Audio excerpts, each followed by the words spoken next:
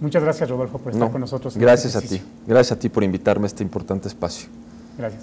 Mira, te, vamos te, comento la dinámica, te vamos a presentar preguntas que la gente ha enviado eh, para ti en este caso, por medio de YouTube, que es nuestro aliado en este espacio.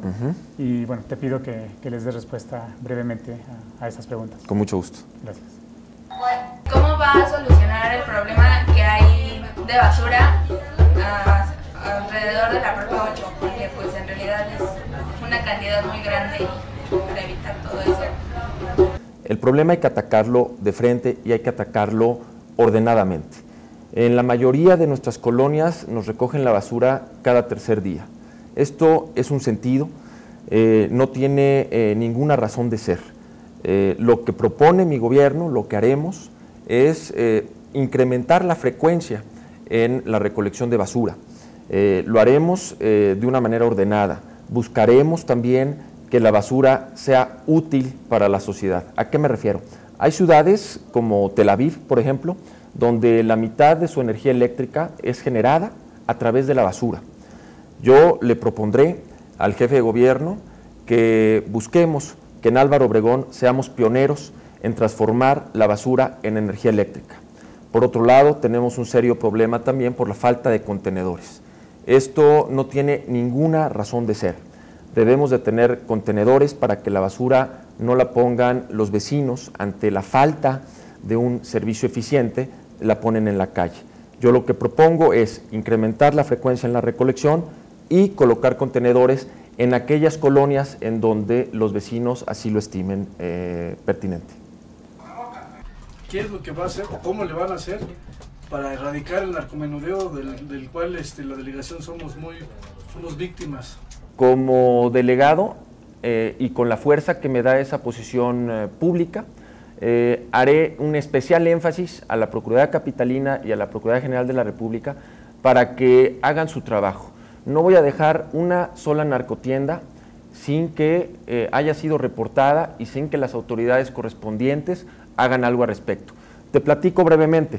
Reportábamos la narcotienda, el día domingo se veía un movimiento inusual en la misma y el lunes que llegaba el operativo, eh, pues ya nada más vendían refrescos y paletas. Esto quiere decir que hay realmente una eh, eh, comunicación estrecha entre las autoridades que deben de combatir el narcomenudeo y los que, los que están envenenando a la juventud. Yo seré un delegado muy frontal en esto y mostraré que realmente habemos funcionarios públicos, habemos políticos que con convicción queremos salvaguardar a los niños y a los jóvenes de este flagelo que son las drogas? Pues que tuvieran más cuidado en cuestión de la seguridad, sobre todo en las noches. Nos ha pasado que nos quedamos sin luz porque se están robando los cables de los postes de luz y cuando nosotros reportamos este problema pueden tardar hasta cuatro días en resolverlo.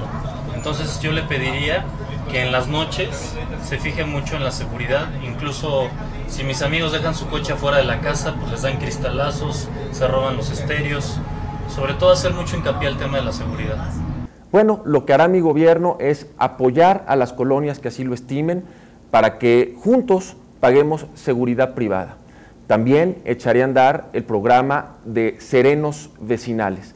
Esto generará incluso empleo en muchas colonias. Buscaré eh, gente, eh, colaboradores voluntarios de las colonias que quieran hacer las veces de serenos y que tengan una estrecha relación con la policía para que se dé lo que le llaman el efecto cucaracha. Si los delincuentes ven a una comunidad organizada, si los delincuentes ven a una comunidad que está cuidando su entorno, prefieren irse a delinquir otro lado.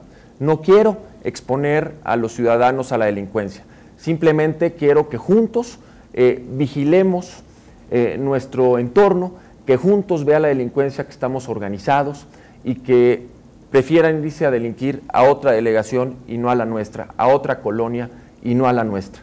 Así implementaré pues el programa de Serenos, implementaré pues el programa de apoyo delegacional para seguridad privada. Y desde luego le insistiré al gobierno de Marcelo Ebrard para que eh, ponga más atención en los elementos pie a tierra, para que nos dé y nos doten de mejores patrullas y desde luego la videovigilancia que han echado a andar, aunque me preocupa el tema de la videovigilancia porque no veo que estén reaccionando ante ello. Simplemente tienen elementos viendo los monitores y no hacen nada al respecto, simplemente filman cómo nos asaltan, pero no hacen nada al respecto. Así mi gobierno pondrá verdaderamente manos a la obra con estas acciones. Le propondré también al jefe de gobierno que dividamos eh, la delegación en cuadrantes de 5 kilómetros cuadrados y que apostemos en los puntos estratégicos de estos cuadrantes a un grupo de reacción inmediata para que tengan una estrategia que haga más sentido y que llegue con mayor eh, velocidad a donde se necesita.